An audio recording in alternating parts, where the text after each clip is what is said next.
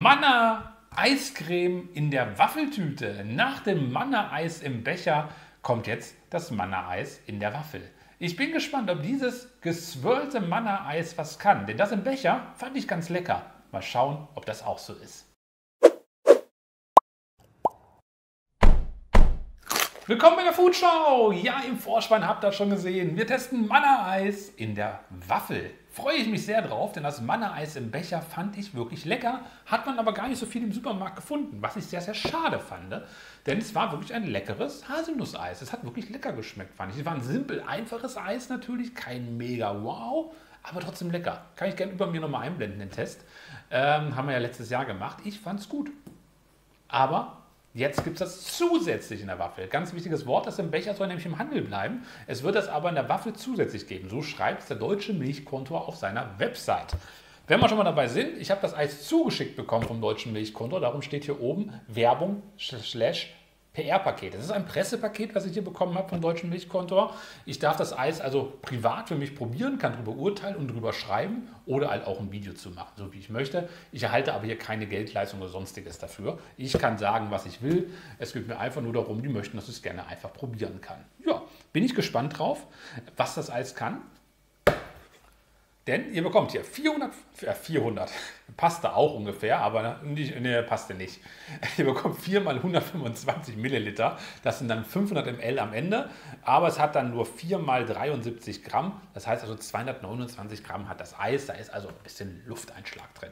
Ist zu erwarten, habe ich auch nicht anders mit der gerechnet. Und preislich kann ich es euch nicht sagen. Ich habe nämlich leider keine Info bekommen zum Verkaufspreis. Ich gehe mal davon aus, dass es sich zwischen 3,49 bis 4,79 Euro bewegen wird. Ich habe leider keine UVP. Äh, ich habe es leider auch nicht online gefunden, wie die UVP ist. Ähm, ist jetzt so. Ihr geht ungefähr von dieser Preisklasse aus. Ihr seht es am Ende im Supermarkt. Aber es geht ja viel mehr um den Geschmack, nicht unbedingt nur um den Preis. Natürlich ist der Preis eine Relevanz, wenn es am Ende nicht schmeckt. Aber wir gucken einfach mal, was ich gleich am Ende dazu noch sage. Ja, ha, ha, auch schön. Ich habe gerade irgendwas gelesen und dachte mir, ha, Zutaten, Nährwerte wollte ich eigentlich sagen. Und jetzt können wir weitermachen. Es geht nämlich, ha, darum habe ich ha gesagt, weil ich Haselnuss gelesen habe. Jetzt weiß ich es wieder. Direkt wieder vergessen und selber drüber gelacht. Naja. Haselnuss-Eiscreme mit Eiscreme mit Sahne, 28% kakaohaltiger Fettglasur, mit Haselnusskrokant und in einer Waffeltüte. Ist mit Zucker entrahmter Milch. Dann kommt aber auch Sahne, Weizenmehl, Molkerzeugnis, dann kommen aber auch pflanzliche Fette, darunter leider auch Kokospalmen und Palmkernöl. Auf Palmfett hätte ich jetzt gerne ein bisschen noch verzichtet, aber so ist es jetzt leider. Glucose, Fructose-Sirup, Haselnüsse. Ähm, fliegen wir da mal schnell drüber. Stabilisatoren, Johannesbrotkaramell, Karamellsirup, Speisesalz. Ist an sich okay, bis auf diese Palmöl-Geschichte. Also es ist immer noch ein Industrieeis, es ist jetzt nicht für Gelato handgemacht und nee. Also ja, handgemacht ist es auch in deiner Art und Weise, aber es ist jetzt nicht das hochwertigste von hochwertigsten. Ihr habt dann 329 Kalorien auf 100 Gramm, auf ein Eis selber gesehen 240 Kalorien. Davon sind dann 29 Gramm Zucker, auf ein Eis 21 Gramm Zucker und die restlichen Zutaten, Nährwerte seht ihr ja. Ja, vier Stück sind hier drin und ich hole das jetzt mal raus aus dem Gefrierer denn die Packung habe ich natürlich schon ausgeleert. Ähm, und dann zeige ich euch das einmal in der Nahaufnahme. Einmal, wie es so ausschaut natürlich. Dann schneide ich es wieder einmal mit dem Messer genau in der Mitte, also fast in der Mitte durch. Genau die Mitte wird wieder nicht klappen. Ähm, da könnt ihr es nämlich einmal sehen, wie es von innen aus ausschaut. Und dann werden wir es natürlich probieren. Und hier ist es jetzt, das Manna-Eis. Ja, so schaut es aus in der Waffel. Also klassische Waffel. Dann kommen hier diese Schichten aus dieser Fettglasur, Milch, den verschiedenen oder Sahneeis und dann nochmal das äh, Haselnusseis. Also es ist so ein bisschen geswirlt sieht man von oben noch ein bisschen besser, dass das wirklich so ein gedrehter Swirl ist. Und natürlich schön Haselnusskrokant. Und das Eis schnappe ich mir jetzt nochmal und schneide das mal gezielt in der Mitte für euch durch. Und so schaut es jetzt einmal durchgeschnitten aus. Ja, dann sehen wir, dass oben gar nicht so viel von diesem Milcheis ist. Es ist hauptsächlich wirklich dieses Haselnusseis. Dann sehen wir unten so einen gleichen Kakaokern. Da hat der Schnitt nicht mehr ganz gut geklappt, aber der ist halt klassisch. Und oben seht ihr dann halt diese ja, Krokantstücke die da ein bisschen in dieser Fettglasur rumknuspern. Ja, mehr ist es nicht. Das ist das ganze Manna-Eis. Ja, einmal halbiert, einmal als Ganzes. Und jetzt werden wir es probieren. Ich bin gespannt, ob das schmeckt. Wenn es in der Waffel ist, genauso lecker wie im Becher. Also, auf ins Probieren dieser halben Manna-Eiswaffel. Die andere ist erstmal Gefrierer, nicht, dass mir die wegschmilzt. Und ich bin jetzt mal wirklich gespannt, ob das was kann vom Geruch. Es riecht schön nach Haselnuss, muss man sagen. Es hat einen richtig schönen Haselnussgeruch, diesen typischen Manna-Haselnussgeruch. Das sieht nicht schlecht aus. Mal gucken, ich beiße mal von oben ab. Wir beißen uns jetzt also nach und nach mal durch.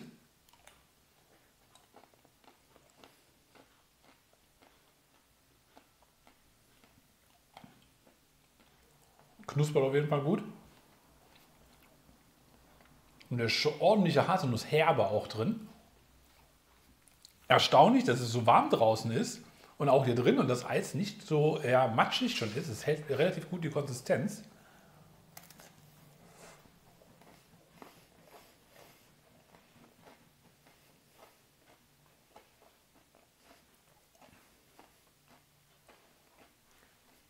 Könnte natürlich auch im Bindungsmittel liegen.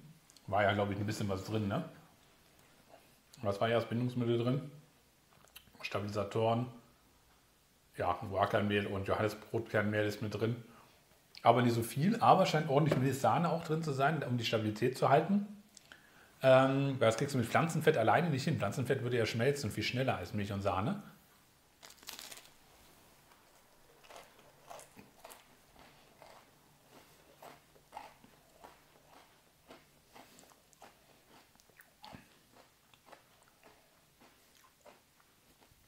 aber solide. Also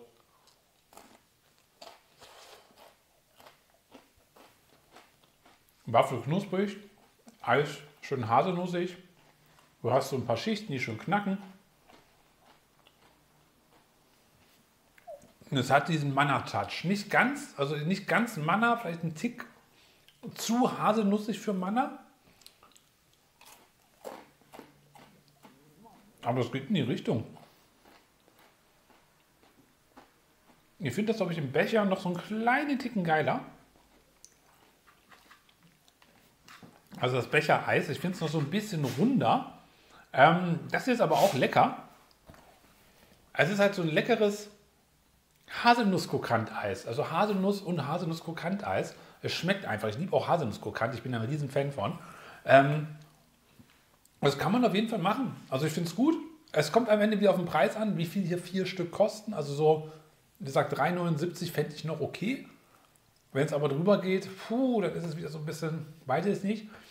Ich weiß, dass die Preise momentan ja überall höher gehen, aber hier sind es wenigstens noch 73 Gramm und 125 ml. Wir haben das jetzt ja schon bei anderen Herstellern gesehen, die rutschen jetzt schon unter die 100 ml Grenze und das Eis hat dann irgendwie nur noch 51 Gramm.